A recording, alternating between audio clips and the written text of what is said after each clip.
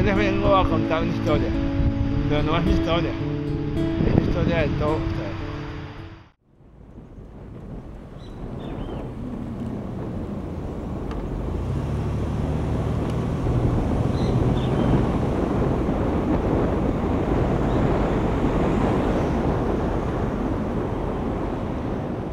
Todo atleta tiene un sueño. Este es mi sueño, este es mi segundo sueño olímpico. Lo llamamos así.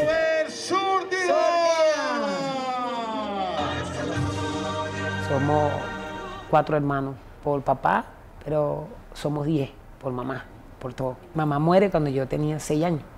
Tenía 17, 18 años cuando comienzo en el atletismo. Nunca había corrido, jugaba baloncesto. Semprún, te inscribí en un maratón. Tú eres loco, y yo, cuando tú me vas a escribir un maratón, le digo yo. Ah, yo le digo, bueno, William, bueno, está bien, ajá, ¿y, cómo voy a correr yo? ¿Cómo voy a correr yo esa carrera? ¿Qué zapatos y todo eso, no? Bueno, yo he visto que corren en apargata también. Y yo, bueno, ¿y cómo ahora yo me amarro esa apargata? Yo así. Agarré dos pitillos del piso, dos pitillos que no- Lo estiré y me amarré la alpargata. Bueno, mira, fíjate, esta es una anécdota muy, o sea, es linda, pues, porque es lo que me sucedió y cómo, cómo empecé en el atletismo, en, el- en la carrera de atletismo. Algo lamentable, fue con la tragedia de Vargas, eh, corrimos en el 99. Eh, es como una anécdota, porque mi entrenador pierde su casa, nos estamos preparando para el maratón de Caracas, él pierde su casa, eh, yo lo visito a la casa y le dije, le comento, profesor, mire, ya no, ya no vamos a correr con tristeza, ¿no? mire, y este, lloré y lloramos, y me dice, ¿tú estás loco? No, mañana él te agarra su ropa y nos vamos para Caracas, así mismo, porque esta es una meta que tenemos que cumplir, tenemos que seguir adelante. Fue duro, duro, duro. Y nos fuimos. Y mire, y eso fue duro, pero bonito. O sea, fue duro, pero bonito porque logramos la marca olímpica. Venezuela. Venezuela. Venezuela from the north coast of South America. Taekwondo player Andrea Camano carries their flag.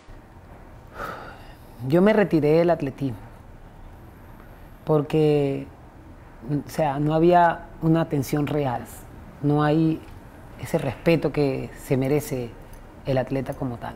Yo decido retirarme guindar los zapatos porque tengo una familia a quien tenía que atender, darle, eh, darle le- sus necesidades, la escuela, la comida, la casa.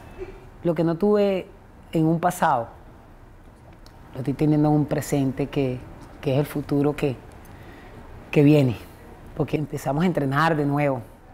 Y es la esperanza pues, que hay. Mi mejor modelo fueron mi papá y mi mamá, porque lo que tú aprendes, lo que a ti te enseñan, los valores, la humildad, los principios, nacen en casa. Y eso te lo da papá y te lo da mamá. Son tres, tres principios. La dedicación, la constancia y la perseverancia. Pero la perseverancia siempre es la que te da esa fuerza para seguir avanzando. Y te dan esa fuerza, pues. Como tú recibes un abrazo de tu hijo, es, fuerza. Eh, de tu hija es fuerza. De tu pareja es fuerza. De la familia es fuerza. Y de los amigos es fuerza. Eso, eso rompe el dolor. Te abre otra perspectiva. Es que llega el sentimiento. Siempre va a llegar el sentimiento porque, wow, estos, estos locos creen en mí. ¿Me entiendes? O sea, tú te ¿y quién queda? O sea, nos vamos, pero tenemos que seguir formando la generación de relevo. Recta final és aquest dorsal número 12, José Alejandro Prut, de Venezuela. Bé, bienvenido a Venezuela y atención a... Para quienes crean que esto es una historia de marcas, de lograrlo o no lograrlo, no. Esto es una historia de éxito, esto es una historia de superación. Para las marcas, lo más hermoso que tiene el deporte es que siempre te da revancha. Y mañana seguramente habrá una nueva carrera y todos estaremos allí. Nos vemos.